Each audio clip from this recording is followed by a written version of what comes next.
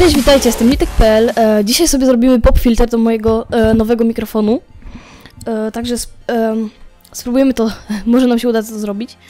E, będziemy potrzebowali takiego oto tamborka, który składa się z takich dwóch części, zaraz wam pokażę. Tamborek to e, jest taki przyrząd do o, do szycia ogólnie. Tu się zakłada materiał i się na to i się szyje. Takie wyszywanko. E, ale to muszę odkręcić. Nie wiem, czy to robię dobrze. I zaraz wam pokażę, że to się składa z dwóch części. Dobra, a to sobie zrobię, zrobię za chwilę.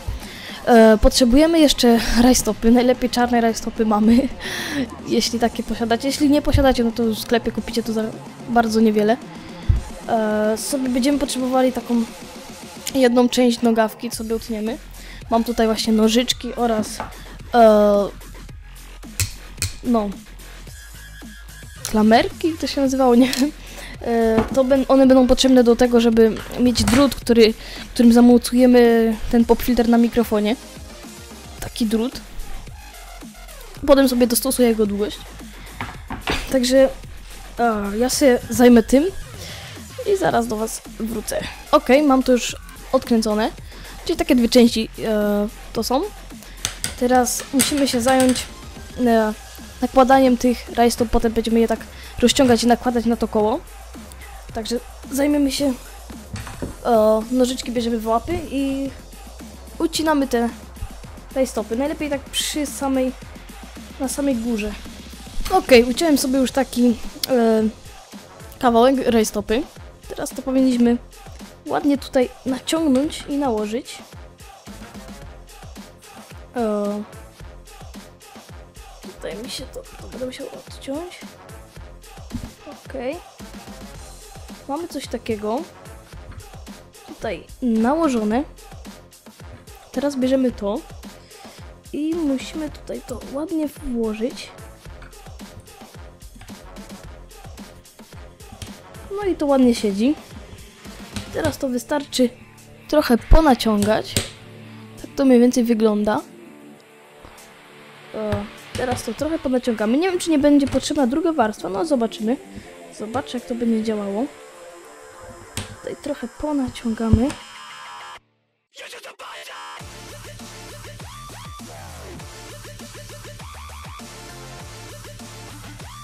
O, myślę, że będzie dobrze. Teraz to fajnie zakręcimy, żeby nam to nie wypadło.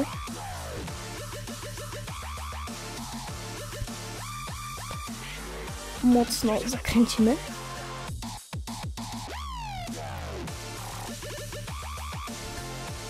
Dobra, powinno być dobrze. I teraz byśmy sobie ucięli. Eee, to powinno dobrze działać. Teraz byśmy ucięli sobie te rogi które, których nie potrzebujemy w ogóle, żeby to wszystko ładnie wyglądało. Myślę, że to powinno nam dobrze pójść. O, ładnie to idzie. Dobra, ja sobie to utnę i widzimy się za chwilę. Okej, ładnie sobie już tutaj to wyciąłem. E, tak to mniej więcej wygląda. Teraz powinniśmy to Zobaczymy, czy słychać różnice, jak mówię przez to. E, Mam nadzieję, że słychać. Powinny być takie by, py, ty, by, py, ty. E, Lepiej słychać, to powinno, znaczy to po- powinno być takie wygłuszone, żeby tego nie było słychać takiego efektu. By, py, ty, by, py, ty. I tak myślę chyba trochę słychać niestety. Będę chyba musiał zrobić kolejną warstwę. Bo tutaj mam um, Audacity na monitorze wyświetlany. I widzę, że to tak trochę jednak skacze. No zobaczymy. To teraz tak, żebyśmy to e, mogli umiejscowić na mikrofonie, no to będzie nam potrzebny jakiś taki sztywny drut. Okej, to ja wam teraz to pokażę, jak wygląda końcowy efekt.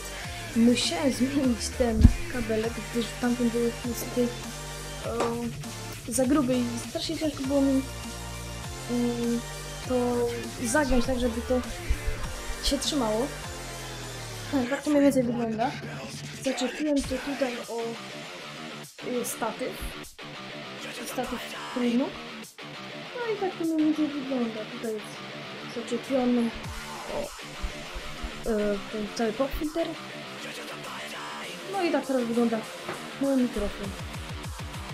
Że myślę, że Wam e, ten poradnik, poradnik się na coś przyda. E, także wielkie dzięki za oglądanie i na razie.